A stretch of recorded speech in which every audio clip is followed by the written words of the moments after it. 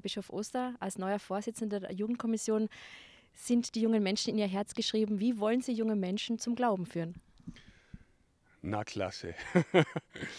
ähm, ehrlich gesagt äh, ist es immer schon, seit ich Salesianer Don Boscos bin, äh, mein Herzensanliegen. Ähm, ganz wichtig ist, glaube ich, dass man zuerst mal mit den jungen Menschen unterwegs ist, mit ihnen zusammen Leben teilt, Weggemeinschaft teilt, Freundschaft schließt und, äh, und von ihnen lernt. Und dann kann man vielleicht da und dort äh, das, was äh, wir vom Evangelium her zu sagen haben, mit hineinsprechen. Äh, ganz wichtig ist, glaube ich, äh, dass wir die Erfahrung leben, dass wir nicht Gott bringen müssen, sondern dass er schon da ist, überall, wo wir hingehen und dass wir vielleicht Geburtshelfer oder Entdeckungshelfer sind. Jetzt sind die jungen Menschen heutzutage kritischer, auch was äh, kirchliche Institutionen anbeginnt, vielleicht auch die kirchliche Tradition oder die kirchliche Lehre. Sie vertreten da ja auch, ähm, ich will nicht sagen ein konservatives Wertbild, aber doch das strenge kirchliche Wertebild. Da entsteht vielleicht eine Kluft zu jungen Menschen und deren Lebenswelt.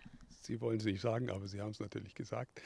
Ähm, na, ich vertrete einfach zunächst mal das, was die Kirche glaubt und ich glaube auch, dass das ein ziemlich großes Vernunftpotenzial hat. Und ich habe äh, auch schon als Hochschullehrer sehr intensiv immer mit den Studierenden darum gerungen und auch gestritten. Und, äh, und ich glaube, das ist wichtig, dass man darum ringt. Ähm, es ist ja so ein bisschen so eine Art, aus meiner Sicht ein Vorurteil, gerade in der Arbeit mit jungen Menschen oder auch ein gesamtkirchliches Spektrum, dass man sagt, naja, da gibt es so ein paar Positionen, die sind also sowas von, von gestern, dass wir im Grunde nur warten, bis die letzten Betonköpfe gestorben sind und dann äh, ist eh alles anders. Zum Beispiel? naja, Sie, Sie wissen ja, dass die ganzen Themen, in denen es um Sexualität geht, äh, da in Frage stehen.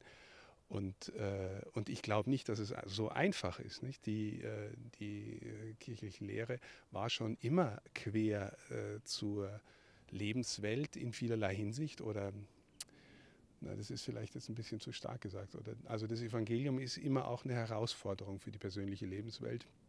Und die Verkündigung Jesu, wenn wir sie vom Evangelium her ernst nehmen, war auch in der Hinsicht sehr, sehr anstößig und die bleibt auch anstößig. Das hat aber nichts damit zu tun, dass wir Menschen oder junge Menschen quälen wollen, sondern ähm, dass in der Begegnung mit dem Herrn Veränderungspotenzial liegt für die Fähigkeit zu lieben, für die Fähigkeit wirklich zu begegnen und damit auch für die Fähigkeit meine eigene Sexualität so zu leben, dass sie dem entspricht, was wir glauben, was Gott in uns hineingelegt hat.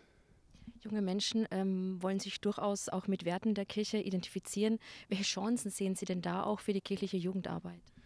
Also das, Allerwichtigste ist es, glaube ich, dass es persönliche äh, Erfahrungen und Zeuginnen und Zeugen gibt. Also wir brauchen Menschen, die erfüllt sind vom Evangelium, erfüllt sind von von, vom Herrn also, und vom Heiligen Geist. Und, ähm, und meine Erfahrung ist immer gewesen, wenn junge Menschen glaubwürdige Zeuginnen und Zeugen treffen, dann führt das in der Regel zu zwei Reaktionen, entweder äh, Anziehung oder Ablehnung. Ähm, aber das ist so wie im Evangelium, Jesus lässt nicht gleichgültig und wirkliche Zeuginnen und Zeugen lassen auch nicht gleichgültig. Und äh, vielleicht ist äh, die Kirche manchmal in der Gefahr, zu sehr ähm, einfach sein zu wollen wie das, was die Gesellschaft in ihrem Mainstream gerade ist, damit man nicht aneckt. Das ist nicht das Evangelium. Jetzt, wenn man in die Kirchenbänke guckt, sonntags ist es doch etwas leerer, was junge Menschen betrifft. Sie haben ja auch viele Erfahrungen ähm, als Salesianer, äh, junge Menschen zu unterhalten. Es gibt ja auch Videos, wo Sie als Clown auftreten. Wie wollen Sie denn jetzt die Kirchenbänke voller Jugendliche zaubern? Das will ich überhaupt nicht. Ich will nicht, dass junge Menschen in die Kirche gehen, damit sie auch drin hocken und damit der Bischof eine volle Kirche hat. Ich will, dass junge Menschen eine Erfahrung machen. Und wenn sie dann die Kirche entdecken als den Raum, in dem ihnen Gott entgegenkommt, wunderbar. Aber nicht einfach, wir füllen jetzt wieder Kirchen. Das ist nicht der wirkliche Ansatz. Wir müssen mit den Menschen unterwegs sein, bei ihnen sein, mit ihnen gehen. Danke für das Interview.